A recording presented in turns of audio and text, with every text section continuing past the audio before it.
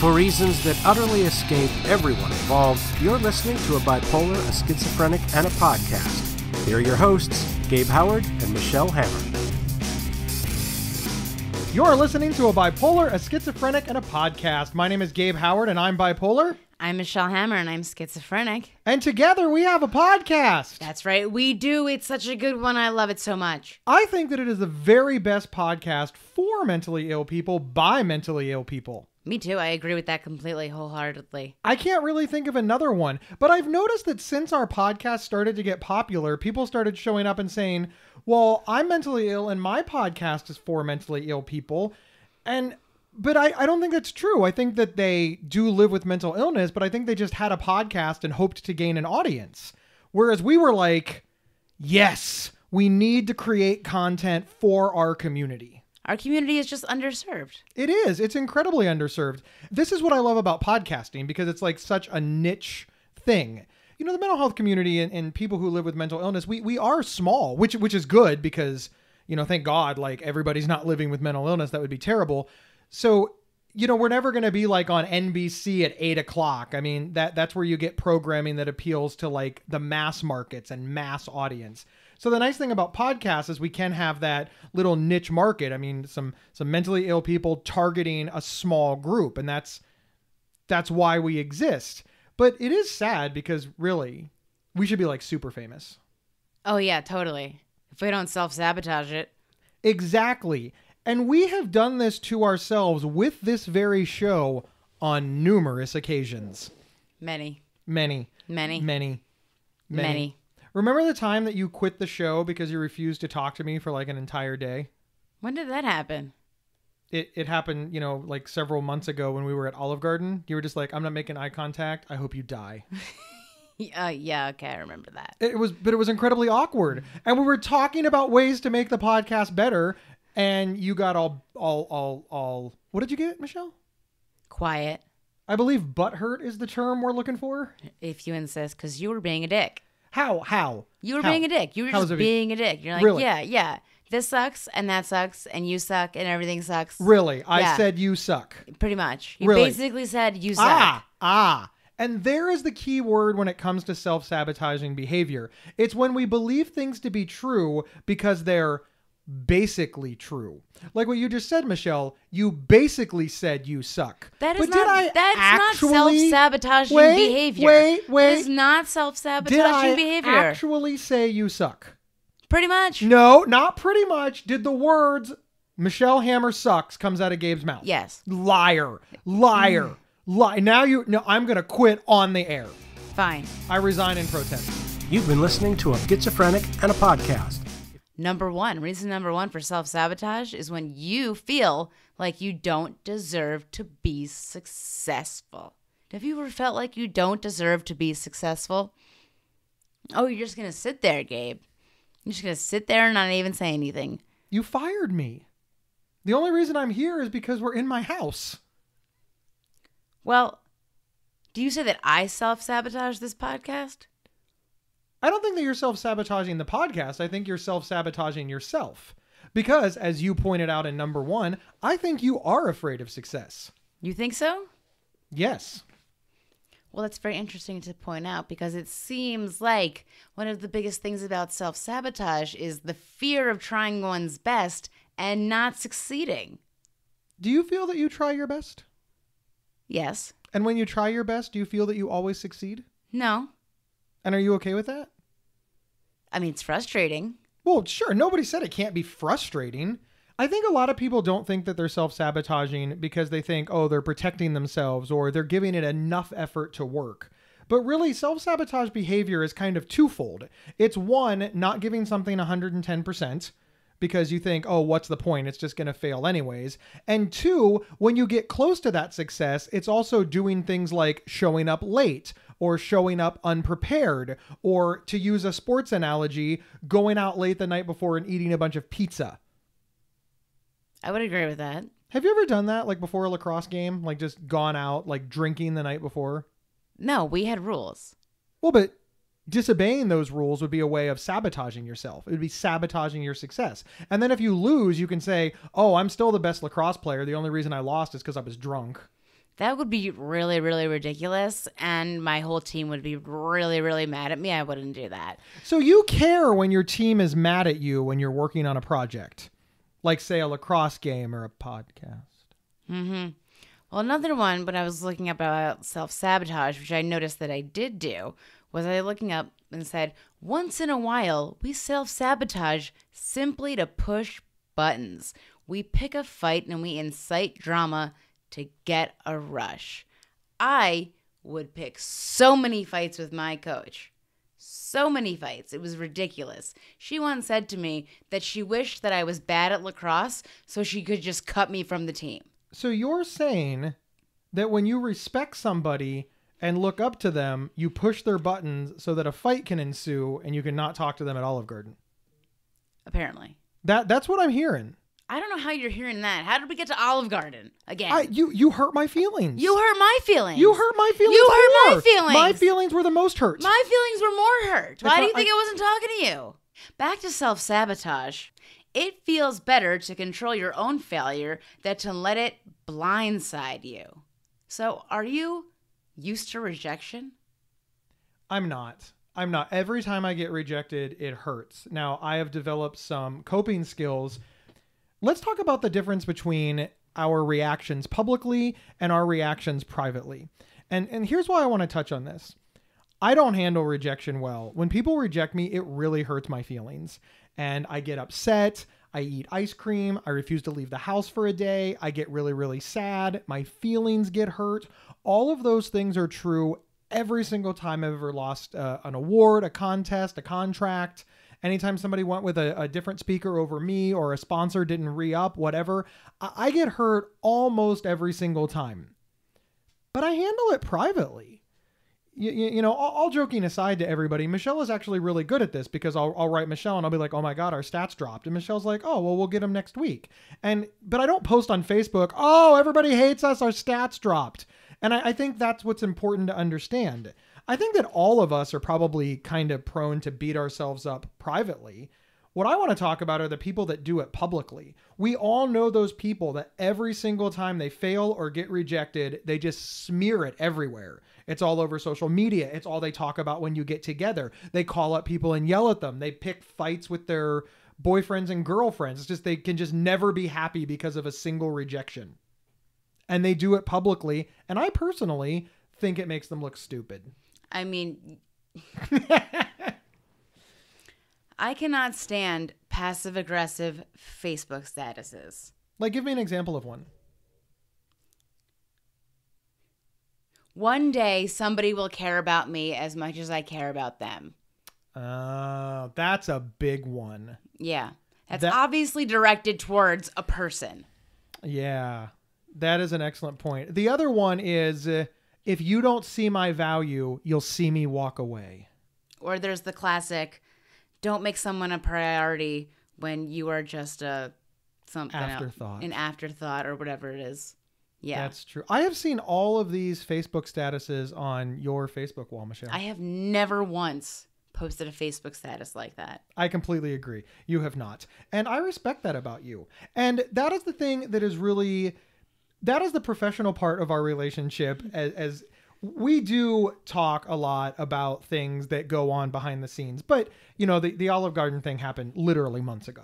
I, and and we're talking about it now in jest and to be funny and because it did happen and because the show relies on like real stories of our lives and and problems that we have had.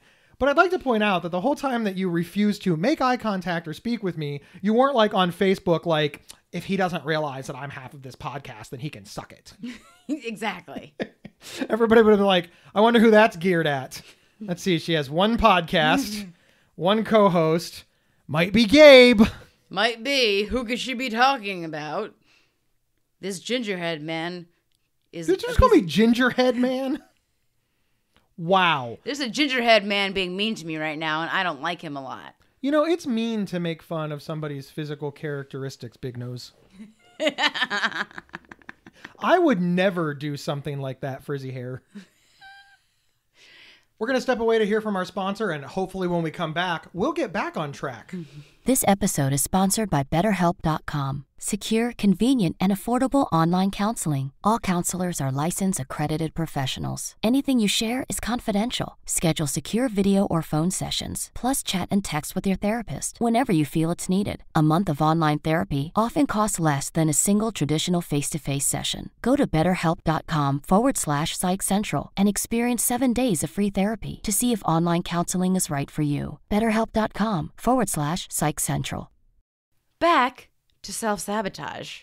There's also perceived fraudulence. When you do something that raises your public profile, you kind of feel like you only have farther to fall. I have suffered with this in my life because um, one day I think I realized that I have this online persona. People think I'm a cool person, I guess. I don't really think I'm that cool, but uh, maybe one day I kind of think, what if people think I'm not cool and then everybody realizes I'm a big loser and nobody likes me anymore? First off, I sincerely doubt that you think you're not cool. That's that's just that, that- I'm I'm gonna call bullshit on that. You think that you are a badass. In fairness, you are. You've accomplished quite a lot, and you deserve the confidence that you have. But I think that what you're trying to explain is you're worried that even though you think you're a good person and a cool person and you are capable, you're worried that people will think that you're a fraud. And the reason that they will think you're a fraud is because eventually you're going to fail. Eventually you're going to have a project that doesn't work. And you've had projects that haven't worked. Michelle, you pop up and you pop up in New York City, which is very, very difficult. I, I want to give you full props. A lot of people think that you just sell this stuff online in the relative safety of your own home, but actually you you go out on the streets of New York City and sell your wares very publicly, right? Mm-hmm. Every time you go, do you sell the same amount? Oh, no. So that means sometimes your sales are successful and profitable, and sometimes, even though you're selling the exact same stuff and you're the exact same person, sometimes you lose money and you spend the whole day like for negative dollars. That has happened. Yes, yes. yes. Failure. But you don't you But don't that's think how that I, way. I started. I started in a deficit, but now it's getting way better with the connections that I've made through other places where I can pop up now in better spots for less of a price. Because when you do pop up in New York City, unless you have a permit, you have to pay to be at a pop up shop in a certain place. So if you don't make over the amount of money that you've paid to have your place, you then lose money. But then there's also sales and then there's revenue. Did you make more in your revenue that you've actually paid? Are you explaining business to our listeners? Like we just became a business podcast? So we're like Forbes for mentally ill people.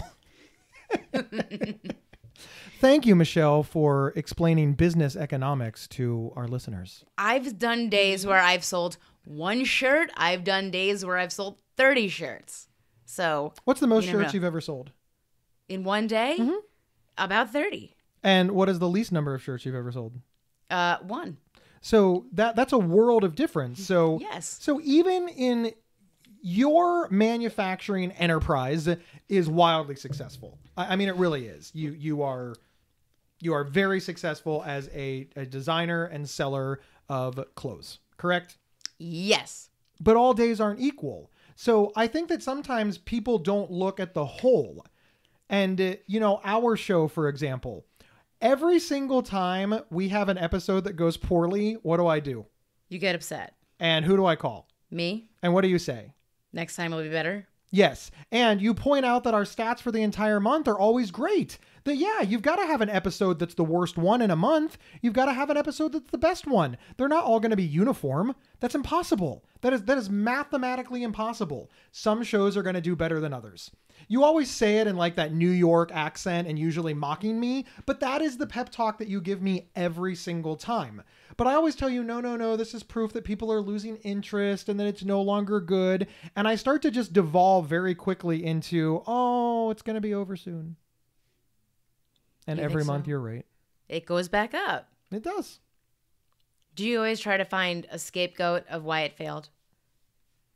I don't try to find a scapegoat of why it fails because I often let let me start that again. I do always try to find a scapegoat and I always think that it's me. And by extension of it being me, I think it's you. So I always think it's us because the show is just us. I I, I don't know that that's a bad way to look at it, though. I mean, if I'm being completely honest with myself, I do take credit for the success of the show. We take credit for the success of the show. And I feel very strongly that if you're going to take credit for something, you need to take the negative. If mm. you're going to pat yourself on the back when you're successful, you need to take the blame for failure. And I just, I really, really detest people that want all the credit when things go well, but they're nowhere to be found when things go poorly. I don't like people like that. I don't. I think that it's irresponsible. I will be standing at the finish line whether we win or whether we lose. And I just believe that. There's no I in team. Yeah, but there's a me and an at What? and meet. Meet. Meta. Meta. There's a meta in team. What is that supposed to mean, Gabe? It's very meta. I don't like that word. You don't like meta? What is meta? Like meta, like like a box of boxes is very meta. Or putting spectrums on a spectrum is very meta. I don't know what you're talking about right now. You're you're just sabotaging this podcast. That's very true. Do you think that it is a form of self sabotage anytime I ask you like a very personal question and instead of answering it, you deflect onto something else? I don't think that's sabotage. I just think that's uh, ignoring you. No, I'm, I'm being serious. Like, for example, right there, it's just you were really snarky. i i I'm just ignoring you. Why? Really? That's. I- I'm being sincere. That that that's what you want the audience to think. That if Gabe asks you a question that you don't like, you just flat out ignore him. Isn't that very passive aggressive? You don't you don't say no thank you. You don't change the sub. You, you know what I mean? You're just I'm just ignoring you, dick. No. I mean, I'm, I'm like your What business What questions partner. are you asking me that I'm not answering? Do you love your mother? Of course. Wow, I wish we had video right now. I actually know that you are very, very fond of your mother, but whenever I ask the question, you always get like, like I swear to God, like your face turns red and some horns pop up, and you're like, "Yes, I do."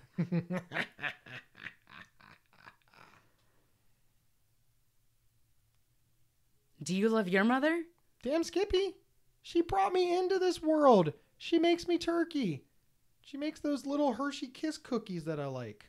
But not the apple cookies that I like. She made them one year. Nobody liked them but me, so she'll never make them again. That bitch. I know. And now she claims that she lost the recipe. In the world of Google, how do you lose a recipe? You know, she's lying to you. I think she is. 100%. She is sabotaging Thanksgiving. Don't say that Thanksgiving's way over. Oh. She is sabotaging your happiness. She is. I think that she is sabotaging my happiness. You know what you could do, Gabe? You could just make those apple cookies. That is actually an excellent example. Right now, I am upset that last Christmas my mother did not make me the cookies, and I blamed her for not finding the recipe, and I blamed her for not using Google to find the recipe. But I am capable of finding the recipe for her, and she'd probably make them. I'm capable of finding the recipe and making them myself. I'm capable of going to a bakery and just buying the damn things. But instead, I am sabotaging the relationship that I have with my mother by continuing to complain about something that is easily rectifiable because in my mind it's easier to be pissed off and angry and put upon than to just solve the damn problem. Indeed. Did you self sabotage when you were younger? Yes, and I think that everybody does when they're younger because we don't understand the consequences yet. Hard work is hard work, and working hard to get nothing is just the the ultimate in in depressing. It really is. We'll go back to the sports analogy. Uh, you know how everybody says there's no second place, there's just first loser? Mm-hmm. I mean, look, being the second best at something in the entire world is a pretty good place to be. But I understand it. You worked so hard and so long, and you gave it everything you had, and it didn't matter. Somebody was better than you. My God, that is devastatingly awful. But I try to remember that if I didn't give it 100% and I come in second, that means if I would have, I would have come in first. So the whole reason I'm not standing on top of the pile is because I half assed it. And I think that's worse. In my mind, self sabotaging is worse. It's why I put in way too much effort into any everything. You know how many people make fun of us for how much effort we put into our little podcast? People make fun of us? They make fun of us constantly. Who? Remember when we started and somebody said you will never find a sponsor? Ever. Who said that? Yeah, we're, we're not going to out people on the show, but Well, I'm whoever sure said that, you know what they can do. Y- yeah, you know what they can do. Michelle, when you told your family that you were going to start a podcast, did they ever think that it would be a money making enterprise? Oh, absolutely not. Yeah, yeah. And is it a money making enterprise? I'm making millions. Oh, okay. Now, now you're just lying. yeah. Now, exaggeration and grandiosity is going to be next week's show. Michelle, tie this together in a bow. Why do people self sabotage, and how do we get them to stop? I think people are, are just afraid of doing well because they're afraid to fail. If you're afraid of failing, then you're just going to mess everything up when you're doing well. In high school, I was undiagnosed schizophrenic. I also had ADD that I didn't know about. I was really bad at reading books because I had I just couldn't concentrate on any of the books. So instead of handing in an essay that was going to be awful, I just wouldn't hand in an essay because I didn't want the teacher to see how stupid I was. So that's just self sabotage right there. I'd rather get a zero than let the teacher know that I couldn't write because I was dumb. You'd rather fail because you didn't try than fail because you're not good enough. Exactly. But you deprived yourself of the opportunity to get better and possibly succeed. Well, I realize this now, but I did not realize this then. But somebody did realize it for you, right? Your parents, the teacher. I mean, somebody corrected this. You are a woman who knows how to read and graduated from college, and you are quite successful. So I refuse to believe that you went through your entire school career doing no homework, turning nothing in, and getting all zeros. So somebody fixed this for you. I did you. the easy stuff. I mean, I could read the short books, but if you put a gigantic book in front of me and tell me to read it, I'm going to have a panic attack. what if I take a gigantic book and I cut it into like 400 little books? Then could you read it? No. I read a book and I constantly check how many pages I have left. How does that help? It doesn't. I I, I just get so overwhelmed when I'm reading books. Still? Yes. How'd you make it through college? I didn't have to, I was an art major, Gabe. That's fair. I forgot. The only thing lower than an art major? Is a gym teacher? No. Somebody who plays sports. Oh. You know, sports is not a major.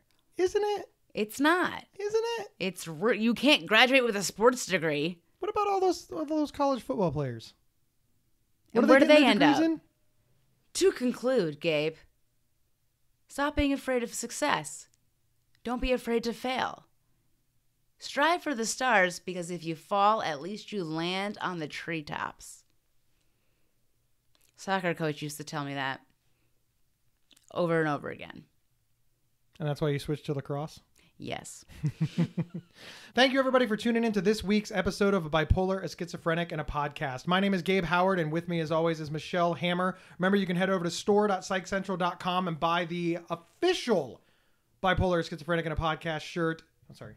Remember, you can head over to store.psychcentral.com and buy the official Define Normal shirt, which supports the show. Send us your topic ideas to show at psychcentral.com.